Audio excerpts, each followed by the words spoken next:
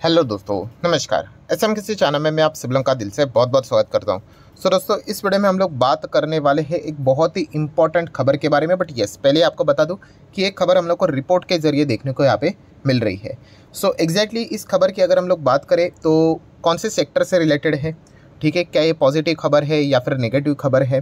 ठीक है and plus जो भी चीज़ें हम लोग को सुनने को देखने को मिल रही है उसके पीछे का रीजंस क्या है? तो सारी ए टू जेड चीज़ें यहाँ पे इस वीडियो में कवर होने वाली है। अलॉन्ग विद द कौन से शेयर्स के ऊपर इसका इम्पैक्ट हम लोग को देखने को मिलेगा डायरेक्टली और इनडायरेक्टली इन चीज़ों को भी हम लोग यहाँ पे कवर करने वाले हैं।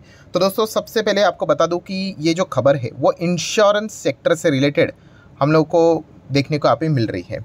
सो इंश्योरेंस सेक्टर आप सभी लोगों को यहाँ पे पता है कि देखा गया तो काफ़ी पीछे हम लोग को देखने को मिल रहा है, ठीक है? हर एक सेक्टर का योगदान यहाँ पे रहता है। बीच में सरकार ने खुद भी कहा था कि इंश्योरेंस सेक्टर का जो योगदान है, वो कंपैरेटिवली कम है मतलब बाकी सेक्टर के हिसाब से। एंड इसीलिए आने वाले समय में अगर हम लोग जी के कॉन्ट्रीब्यूशन की अगर हम लोग बात करें तो वहाँ पे इंश्योरेंस सेक्टर का जो योगदान है उसको डबल करने की कोशिश वो यहाँ पे करने वाले हैं। मतलब इंश्योरेंस सेक्टर के ऊपर भी अलग अलग ऐसे नए नए यहाँ पे मतलब आ, कानून लाए जाएँगे रूल्स एंड रेगुलेशंस बनाए जाएँगे या फिर इसको ज़्यादा से ज़्यादा प्रमोट किया यहाँ पे जाएगा ताकि इंश्योरेंस सेक्टर भी ग्रो हो सके।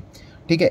तो इसी से रिलेटेड अलग अलग चीज़ें यहाँ पे सरकार यहाँ पे कोशिश लगातार यहाँ पे कर रही है। एंड इसी से रिलेटेड बहुत सारे अलग अलग बदलाव इंश्योरेंस सेक्टर में भी हम लोग को आने वाले समय में देखने को मिलने वाले थे। उसी में से एक बहुत बड़ा बदलाव हम लोग को कुछ ही समय के बाद यहाँ पे देखने को मिलने वाला था। कौन सा?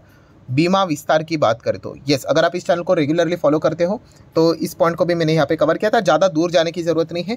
25 सितंबर को ही हम लोग को एक खबर आती हुई देखने को मिली थी कि all in one affordable insurance cover यहाँ पे लॉन्च होने वाला है। मतलब बीमा विस्तार के अंदर ये सारी चीज़ें लॉन्च यहाँ पे होने वाली है। But yes roll out soon लिखा था। मतलब अभी तक उसके ऊपर यहाँ पे काम जारी था। सो जैसे कि नाम से ही पता चल जाता है all in one affordable insurance cover मतलब अलग अलग टाइप के इंश्योरेंस देखने को मिल जाते हैं। लाइफ हेल्थ प्रॉपर्टी एक्सीडेंट तो एक ही मतलब इंश्योरेंस पॉलिसी रहेगी। उसी के अंडर इन सबका कवरेज यहाँ पे हम लोग को होते हुए देखने को मिल जाएगा। इसके ऊपर सरकार काम करते हुए देखने को यहाँ पे मिल रही थी। एंड जल्द से जल्द ये लॉन्च करने का प्लान वो यहाँ पे लेकर चल रहे थे। जैसे कि आप देख सकते हो, आपको यहाँ पे मैंने बताया तो इसमें क्या क्या ऑफ़र होने वाला था? लाइफ हेल्थ भी है, प्रॉपर्टी कवर भी है, और भी बहुत सारी चीज़ें थी, वो इसके अंडर यहाँ पे कवर होने वाली थी। एंड इसी का फ़ायदा जो इंश्योरेंस लेने वाले हैं, उनको अच्छी तरीके से यहाँ पे होने वाला था। नो डाउट ये चीज़ों के ऊपर काम चलते हुए देखने को मिलता है एंड प्रोडक्ट बिल्कुल फाइनल स्टेज में यहाँ पे चल रहा था। मतलब हम कह सकते हैं वर्किंग प्रोग्रेस हम लोग को देखने को यहाँ पे मिल रहा था।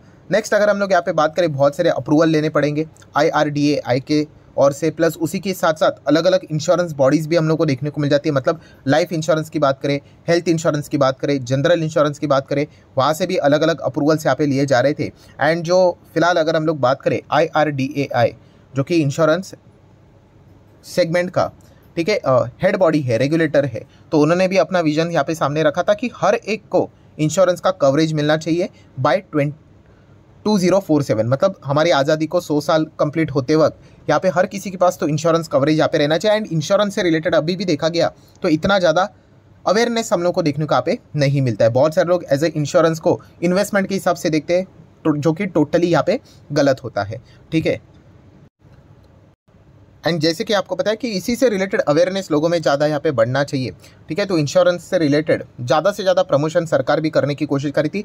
डिजिटल फॉर्म में भी इसको यहाँ पे लॉन्च करने की बातें यहाँ पे चल रही थी, जिसमें आर्टिफिशियल इंटेलिजेंसी उसी के साथ साथ मशीन लर्निंग की अगर हम लोग बात करें, ये जितने भी लेटेस्ट टेक्नोलॉजीज़ देखने को मिले, उनका भी इस्तेमाल यहाँ पे किया जाएगा कि हर एक इंसान तक यहाँ पे अगर देखा गया तो इससे रिलेटेड इन्फॉर्मेशन यहाँ पे पहुँचाई जा सके। मतलब एकदम आसान भाषा में अगर मैं बोलूँ, जैसे मैंने कहा कि सभी प्रकार के जो इंश्योरेंस हम लोग को देखने को यहाँ पे मिल जाते हैं मैक्सिमम वो एक ही पॉलिसी के अंडर आप लोगों को देखने को यहाँ पे मिल जाएगी। इसी से रिलेटेड ये काम हम लोग को चलते हुए देखने को यहाँ पे मिल रहा था बट जैसे कहा कि बट मतलब कि ये आने वाला था कब तक, अगर हम लोग यहाँ पे बात करें तो इसकी अगर मैं डेट की बात करूँ तो दोस्तों फ़र्स्ट जनवरी यस फ़र्स्ट जनवरी को यहाँ पे ये लॉन्च होने वाला था। इससे रिलेटेड पहली ये डेट हम लोग को देखने को मिल रही थी बट अभी बताया जा रहा है दोस्तों कि शायद से हम लोग को ये जो प्लान देखने को मिल रहा है डिले होते हुए देखने को यहाँ पे मिल सकता है। यस सो so, अगर हम लोग यहाँ पे बात करें तो इसके पीछे का रीज़न क्या है? क्या आई की ओर से कोई डिले हो रहा है? तो बिल्कुल भी नहीं। In fact I R D A I जो कि इंश्योरेंस का रेगुलेटर है उन्होंने तो इनफैक्ट सारी गाइडलाइंस प्रिपेयर करके रखी हुई है। ये तो अपनी ओर से पूरा हंड्रेड परसेंट रेडी भी यहाँ पे हो चुके हैं। तो प्रॉब्लम कहाँ से आ रही है? तो प्रॉब्लम आ रही है दोस्तों जीएसटी की ओर से। जीएसटी की ओर से मतलब आप सभी लोगों को पता है इंश्योरेंस की ओर भी जीएसटी लगते हुए देखने को मिल जाता है। अलग अलग पॉलिसी अलग अलग टाइप के जीएसटी लगते हुए देखने को मिल जाते हैं। तो ये जो ऑल इन वन इंश्योरेंस देखने को मिल रहा है, उसके ऊपर जीएसटी कितना चार्ज करेंगे? ये अभी तक तो तय तो हुआ नहीं है। एंड इसी चीज़ के चलते दोस्तों, ये सारा जो प्रोग्राम है, वो हम लोग को डिले होते हुए देखने को आप मिल रहा है। तो आप देख सकते हैं, देखिए, बीमा विस्तार लॉन्च में get delay why because GST council is yet to decide कि जीएसटी मतलब इसके ऊपर कितना होना चाहिए करके। एंड बीच में यहाँ पे ये भी बोला गया था दोस्तों कि इसको प्रमोट करने के लिए इंश्योरेंस सेक्टर को प्रमोट करने के लिए एंड खास करके डिजिटल वे में प्रमोट करने के लिए इसके ऊपर कोई भी जीएसटी नहीं लगाया जाएगा करके। तो ये बात भी फ़िलहाल तो सामने यहाँ पे आते हुए देखने को मिलती है बट ये सारी फ़िलहाल तो रिपोर्ट के ज़रिए यहाँ पे चल रही है करके। सो so, प्रॉब्लम क्या है यहाँ पे? ठीक है तो फिर जीएसटी काउंसिल की बैठक बुला दो। तो प्रॉब्लम ये है दोस्तों कि फ़िलहाल अभी इलेक्शन जारी रहते हुए देखने को यहाँ पे मिल रहा है। कौन सा इलेक्शन? जो पाँच राज्यों में जो इलेक्शन चल रहा है ना? हाँ तो इसके चलते फ़िलहाल तो ऐसे सरकारी कामें होते हुए देखने को यहाँ पे नहीं मिल जाती है। ठीक है तो जैसे ये पाँच राज्यों का इलेक्शन हम लोग को खत्म होते हुए देखने को मिलेगा, फिर उसके बाद जीएसटी काउंसिल की बैठक यहाँ पे बुलाई जाएगी एंड फिर यहाँ पे डिसीज़न लिया जाएगा कि इसके ऊपर क्या करना है करके। एंड इसमें अगर देखा गया तो एक अच्छी खबर ये है कि आईआरडीएआई के साथ साथ अगर देखा गया तो फाइनेंस मिनिस्ट्री भी ज़ीरो जीएसटी के पक्ष में है। सिर्फ़ मैं इससे रिलेटेड बात कर रहा हूँ। ये जो बीमा विस्तार योजना जो बात यहाँ पे हो रही है, उससे रिलेटेड ज़ीरो ज़ीरो जीएसटी की बात हो रही है। बाकी इंडिविजुअल इंश्योरेंस की बात करें तो वहाँ पे जो अभी के रेट्स हैं, वो वैसे ही रहेंगे। तो इसी से रिलेटेड हर कोई यहाँ पे इंतज़ार कर रहा था बट वो इंतज़ार की अगर हम लोग बात करें दोस्तों तो इंतज़ार अभी और लंबा यहाँ पे होने वाला है, ठीक है? तो ये सारी खबरें हम लोग को फ़िलहाल तो रिपोर्ट के ज़रिए देखने को यहाँ पे मिल रही है। एंड इसी चीज़ के चलते जो इंश्योरेंस स्टॉक्स है वो हर किसी के रडार के ऊपर यहाँ पे ज़रूर रहने वाले हैं। फ़िलहाल आज के दिन की बात करें तो थोड़ा सा लाल निशानी में हम लोगों को इंश्योरेंस सेगमेंट में देखने को मिला एंड इसमें अलग अलग टाइप के सारे इंश्योरेंस आ जाते हैं।